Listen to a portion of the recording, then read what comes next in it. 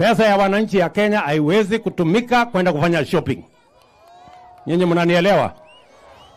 Mimi nauliza nyinyi, mnataka mnataka mnataka watu waende wa, wa watembee wanunue wa- wa- wafanye shopping na pesa ya Kenya? Ah, Hapana, nimesema hiyo hapana, na nimesema tunapunguza pesa ya travel ya all government departments and all sectors.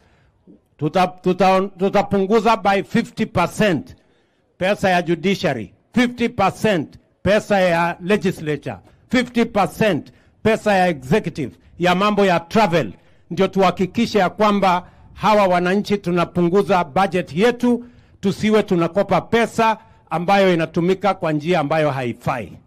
Nyinyi mnanielewa? Hiyo ndio mpango tuko naye, na hiyo mapendekezo ya kupunguza hiyo mambo yote nimepeleka jana kule bunge. Hawa kina Chome waende wamalize hiyo kazi, si ndio? Waende wapunguze mambo ya kutravel ama wasipunguze? Hawa jamaa wapunguze, wasipunguze? Mtu akitaka kutembea si atembee na pesa yake?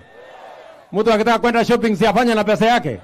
Eh, wananchi wamesema, bwana Chome na wewe waheshimiwa, tafadhali endeni mpunguze hiyo maneno.